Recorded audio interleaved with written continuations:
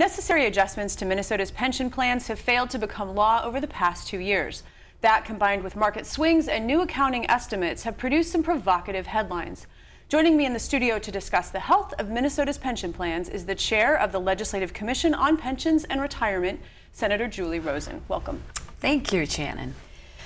Bloomberg's calculations, which were released in late August, caused a bit of a stir. They indicated that the state funding is at only 53% of its liability, down from 80% the previous year. Did this report alarm you? Well, the report alarmed me. It was a little misleading too because they go actually by accounting standards and we go by actuarial standards. And so it was comparing apples and oranges, and you can't really do that. Uh, we are moving in the right direction with our pension reform. We had a very strong bill last year that was voted off the floor 67 to 0. And I can tell you that is unheard of for a pension reform bill to have uh, that strong of a bipartisan support ongoing. Yeah, I mean, it was, it was uh, unilateral. Every, everyone approved it. And part of that bill uh, was shared responsibility between current employees to fund in and also cutting the cost of living adjustment for the retirees, just to kind of balance the needs of the plan.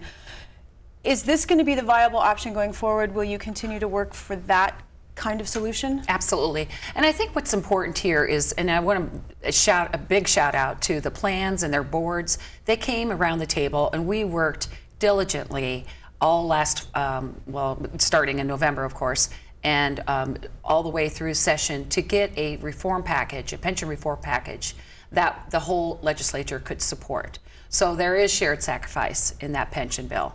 And we also looked at ongoing reform and really drilled down to what what the, the plans were providing. And we found some things such as augmentation, which is uh, a 2% automatic increase on the pension after you retire. We didn't know about that. So there was some adjustments on some early, some other reform packages that the plans agreed to. It's very important to have everybody at the table working on these reforms. This wasn't something that the commission just developed and we hammered the pensions to accept. They were there, they accepted it, maybe begrudgingly, some of these, but it is shared sacrifice. So pension bills have been vetoed for the last two years. Uh, last year because uh, the bill was linked to a controversial labor provision.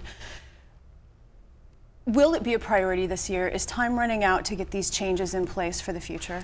Well, I, I, hate to say that time is running out, but it's extremely important to get these changes in place. We did have a return of investment on 15.1% this year. So it's increasing. This, the, the, funds are a little more stable, but that doesn't mean we're going to backpedal on the reforms that we already put in place or that we're instigating and that we already got agreement on and that the legislature voted on. If there's any changes to the reform bill, we could start losing some, some votes, and that's critical. So it's extremely important to get these reforms in place and stabilize these funds to at least 90%, and that's the goal.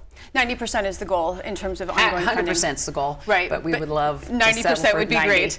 um, there was a recent pension commission meeting. What was your takeaway from that? Well, the takeaway on that was basically to, to tee it up, to talk about how the plans were doing, what had been tra transpired, because we put them to work over the summer too. Um, and we want to see how the boards are feeling and if they were thinking of any adjustments to the reform bill from last year. We also got a, uh, a really good discussion from the SBI director and uh, the 15.1% investment and his overview of that.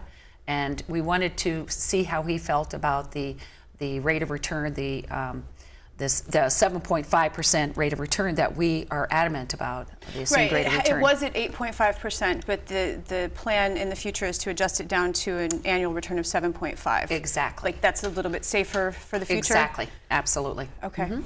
uh, is the idea this is this is kind of a philosophical question but is the idea of a defined benefit plan archaic and in need of phasing out or is it important to keep these pension plans in place for the types of workers who receive them Oh, it's very important to keep these plans in place. That's a commitment we made from the state, and it's a commitment to these workers and their spouses to keep these plans in place. Uh, we have studied this for many years, as long as, as I've been on it, it's going on nine years, I suppose. And we've looked at going through a defined contribution, extremely expensive, billions of dollars. And that's very controversial too. Is that accurate? But uh, when you ta- talk to the State Board of Investment, they believe a, uh, a defined benefit plan is doable as long as there is shared sacrifice. And I think we are working towards that direction in this reform package. So, our commitment, my commitment as the Pension Commission chair, is to make sure that we keep these, these funds viable and ongoing and get them fully funded as, as much as possible. Now, before we started taping, you talked about balancing so many of these interests and how it's really like a puzzle.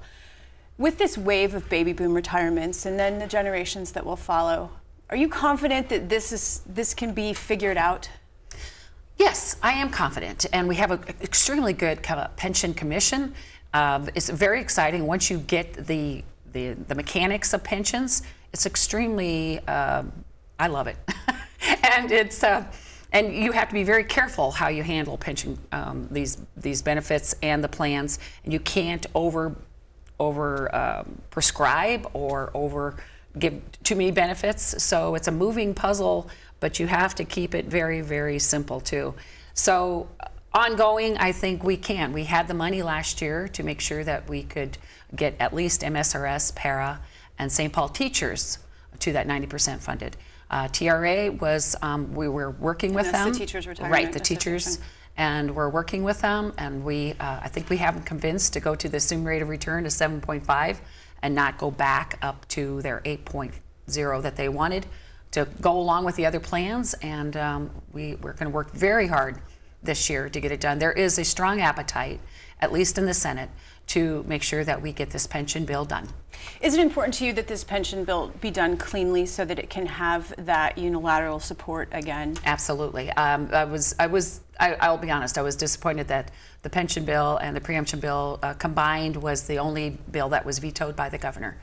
And the year before, um, we're not quite sure why he vetoed the, the pension bill, except there was some uh, disagreement from, I think, the teachers, the TRA. And this is good, it's going to be three years ongoing, and there are individual pension problems that for individuals that are getting some readjustment. We need to get a pension bill signed by the governor, and this is the year to do it. And we are starting early. We have the commitment. Um, I feel like we've got the, the money, at least for the, the three funds, squirreled away, mm-hmm. and uh, we'll continue to work with uh, the Teachers Retirement Association. Senator Rosen, it's so nice to have you here. Thank you. Well, thank you, Shannon. It's really good to be here finally.